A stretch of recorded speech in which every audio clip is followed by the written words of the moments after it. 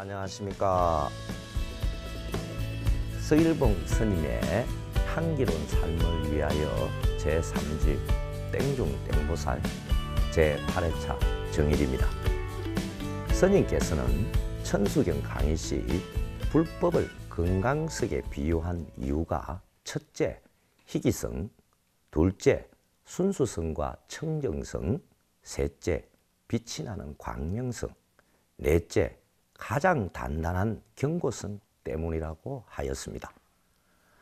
부처님께서는 지친 나그네에게 갈 길은 멀기만 하고 잠 못 이루는 자에게 밤은 길기만 하며 바른 진리를 알지 못하는 자의 윤회의 길은 멀기만 하다고 하였습니다. 우리의 삶이 영원하지 않고 무상하기에 부처님께서는 건강석 같은 깨달음의 삶이 무엇인지 깨치시어 우리 중생들이 불법을 통해 깨달음을 성취하라고 안타까운 마음으로 하신 말씀이겠죠.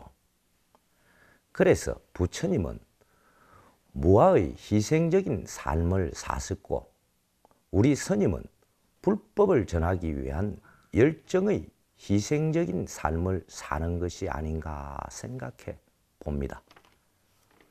오늘은 25페이지의 스님 언제 깨우칠 수 있는지요부터 시작합니다. 스님 언제 깨우칠 수 있는지요?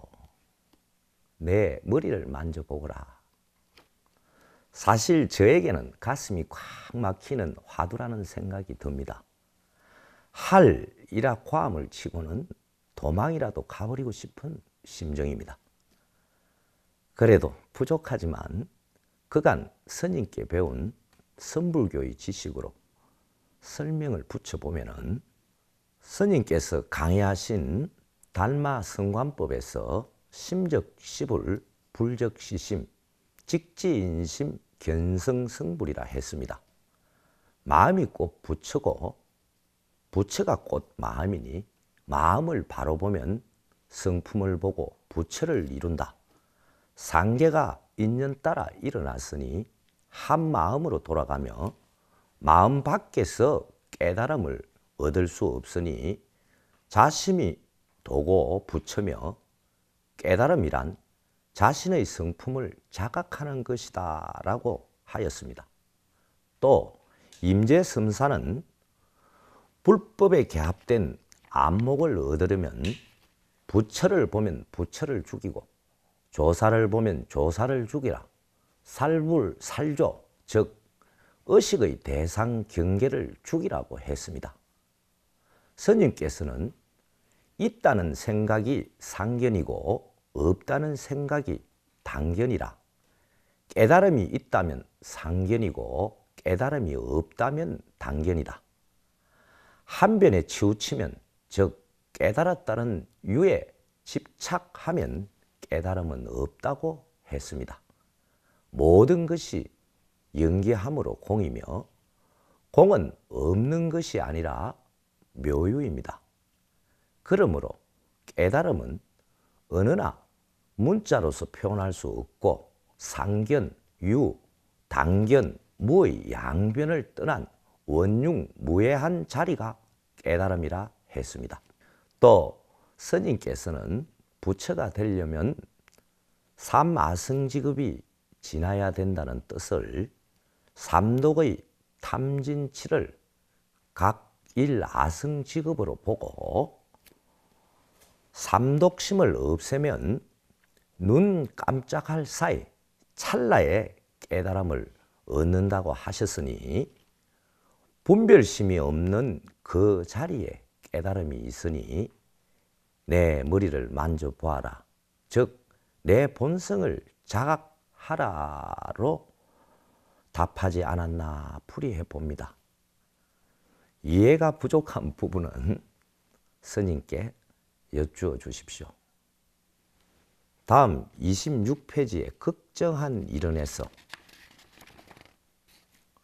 남이 나를 알아주지 않는 것을 걱정할 것이 아니라 내가 남을 알아주지 못하는 것을 걱정해야 할 일이다. 그리고 보여지는 자신의 눈으로 남의 허물을 보기보다는 마음으로 자신의 내면 속에 있는 자신의 부족함을 보아라 하셨는데 우리는 남의 눈 속의 티끌을 잘 보지만 자기 눈 속의 대들보는 보지 못한다고 했습니다. 조고각하라 자신의 발밑을 잘 살펴보라 했습니다. 우리는 상대방의 잘잘못을 볼 것이 아니라 상대방을 보는 눈으로 자신을 잘 살피어 바르게 보아야 한다는 게지요. 불교에서 가장 큰 덕목이 하심입니다. 자기를 낮추고 남을 공경하면 결국 자기도 공경받는 것이 불교의 인과 법의 이치입니다. 다음 27페이지에 성에는 어에 살고 범부는 이에 산다에서 성에는 정의를 위해 살고 범부는 이익을 위해서 산다. 수행을 한 사람은 발음을 앞세우고 이익을 뒤로 하지만 범부는 이익을 위해 발음을 멀리 한다. 그러나 사람들은 옳고 그름을 잘 이해하지 못한다. 그것은 이익을 바라는 마음으로 세상을 바라보기 때문이다. 라는 그래서 좀 더 살펴보면 스님께서 강의하신 부처님의 생애와 그 위대한 교훈에서 이 세상에는 두 가지의 기쁨이 있으니 그 하나는 얻는 기쁨이요 또 하나는 주는 기쁨이라. 부를 얻고 명성을 얻고 권력을 잡으면 성공이라 말하지만 그러한 성공은 처음부터 불행을 잉태하고 있어 그 얻음을 계속 할 수 없을 때 슬픔이 그 자리를 차지하며 한순간의 기쁨마저도 지키려는 괴로움으로 바뀌게 됩니다. 그러나 주는 기쁨은 그 자체로서 욕망이 청산되며 이 주는 정신은 보시로서 무소유가 되는 것이고 불교의 자비사상으로 성화된다고 하였습니다. 가을이 주는 결실만큼 불자님들의 마음에 지혜와 복덕이 가득하시길 기원드리며 땡중 땡보살 8회차 정일이었습니다. 감사합니다.